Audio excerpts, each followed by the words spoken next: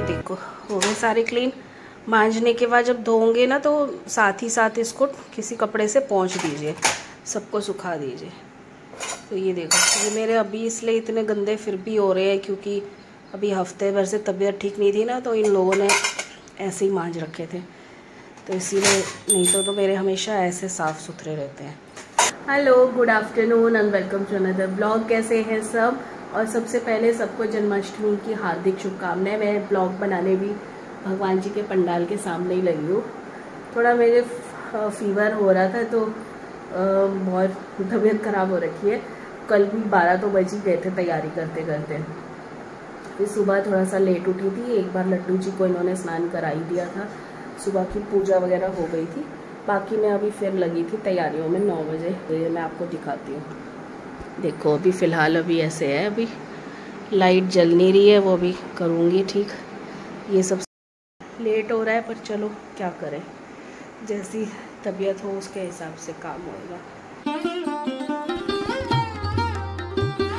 सुबह तो वैसे ठाकुर जी मेरे नहा चुके थे, पर अब मैंने पूजा नहीं करी थी तो मैंने उन्हें फिर से चन्नामृत वगैरह सबसे स्नान करा दिया था।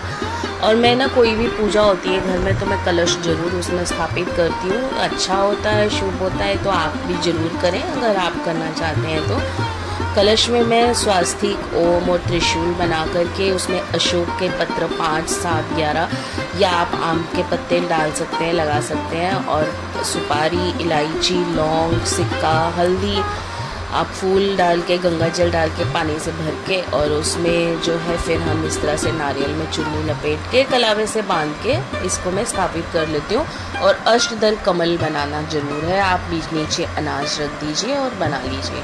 और उसके बाद सब चीज़ों को हमने टिक्का कर दिया था, वो आप सब पे करिए। और गणपति जी तो ज़रूर स्थापित करिए, जिस भी पूजा में आप जो भी करें।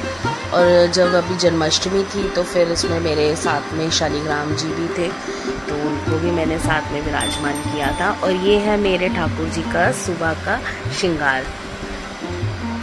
देखिए जरा मेरे ठाकुर जी कैसे लग रहे हैं। बताइएगा ज़रूर।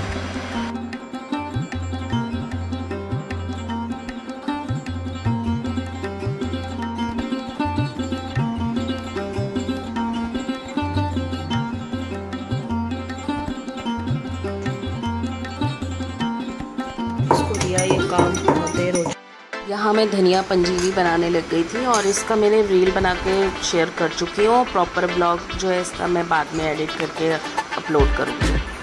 पंजीरी तो बन गई अब।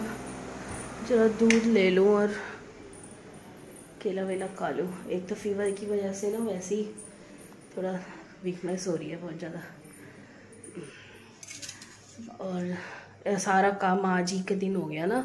कल तो तबीयत वैसे ख़राब रही तो बस थोड़ा बहुत डेकोरेशन करी थी। और, आज फिर प्रसाद भी बन रहा है, सब कुछ हो रहा है। तो इस चक्कर में, देखो मैं दिखाती हूँ कैसा लग रहे हैं हमारे लड्डू जी। ये देखो।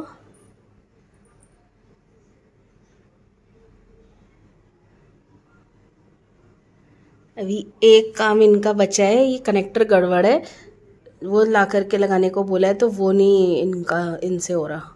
इनके भरोसे तो एक काम भी हो ना, वो नहीं हो सकता। तो ये सुबह के मेरे लड्डू जी ऐसे तैयार हो रखे हैं।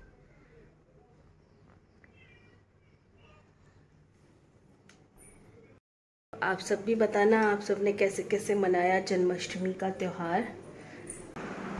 छः बजे तक शाम की जो है, मैं इनको पूरे वस्त्र श्रृंगार हटा करके इनको फूलों से ढक के और जो है, कपड़े से ढक के सुला देती हूँ और 12 बजे जो है, इनको फिर हम लोग उठाते हैं।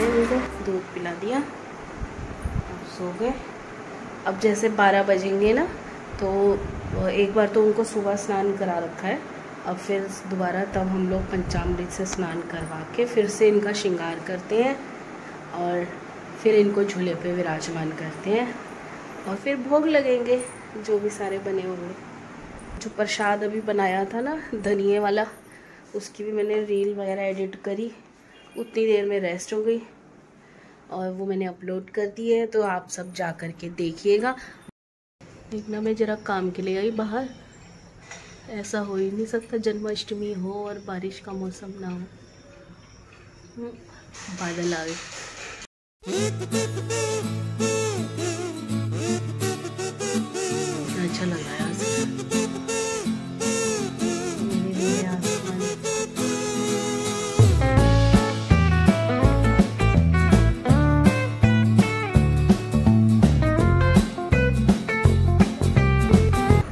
ये मैंने इनकी शाम की ड्रेस रेडी करके रख दी।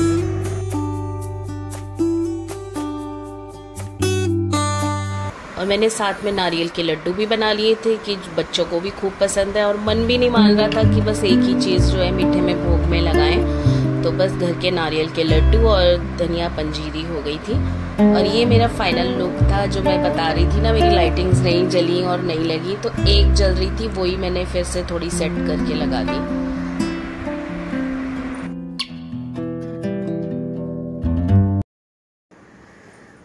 गया भाई सारा काम नहाऊँगी अब ना।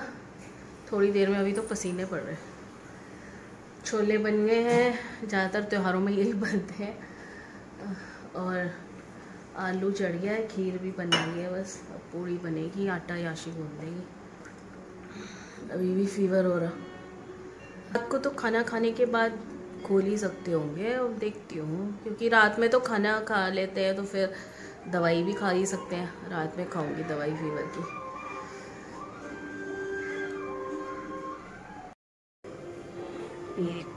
छोले तो हो गए। यहाँ पर खीर भी बस थोड़ा और पकाऊँगी अभी। यहाँ पर आलू, ये भी ग्रेवी वाली है। अभी तो सुखा दूँगी, थोड़ा ना, ज़्यादा ग्रेवी नहीं रखूँगी। तो फाइनली वो समय वो घड़ी भी आई गई जिसका सबको इंतज़ार रहता है और जिसके लिए इतनी सारी तैयारी रहती है कान्हा जी के जन्म की। तो घंटी बजा के थाली बजा के ताली बजा के इनको उठाया जाता है और इनको उठाने के बाद जो है फिर इनको जो है पूरा पंचामृत से शाम को हम स्नान कराते हैं। दूध दही घी शक्कर और शहद गंगा जल मिला हुआ जल। और उससे हम इनको अच्छे से स्नान कराते हैं और फिर जो भी आपने इनके लिए श्रृंगार और वस्त्र लिए होते हैं, वो सब इन, इनको जो है उससे सजा करके और झूले पे बिठा करके फिर इनकी जो है पूजा की जाती है, आरती की जाती है और जो है भोग लगाए जाते हैं जो भी आप सबने बनाए होते हैं। तो हम भी बस अपने कान्हा जी की वही स्नान दोनों मिल करके इस तरीके से करवा रहे थे। और जैसे भी आपसे हो सके वैसा आप श्रृंगार करिए। जितनी सबकी श्रद्धा श्रद्धा के हिसाब से और जितना हमारा शरीर हमें अलाउ करे, उतना हमें करना चाहिए।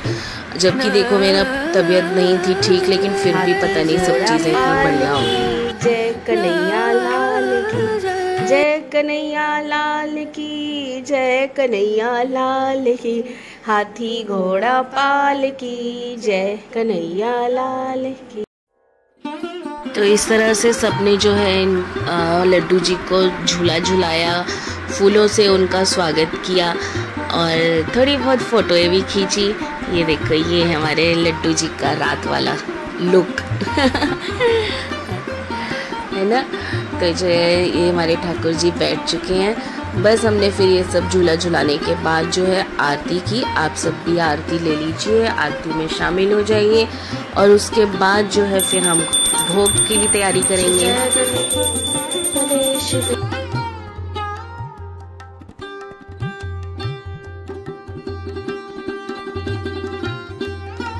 डाल रहे हैं।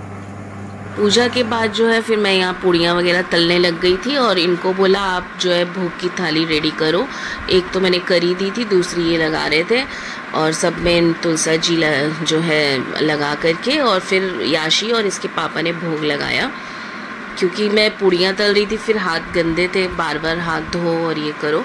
तो इस तरह से हमने भोग तैयार कर लिया और ये हमारी भोग की थाली है। एक थाली में मीठा था पूरा, जैसे कि माखन मिश्री हो गई धनिए की पंजीरी, नारियल के लड्डू। दूसरी थाली में जो है हमारा पूड़ी और चावल वाली खीर आपकी और आलू की सब्ज़ी और छोले। तो ये था हमारे लड्डू जी का रात का भोग। तो और आप सबने कैसे मनाया, बताइएगा ज़रूर।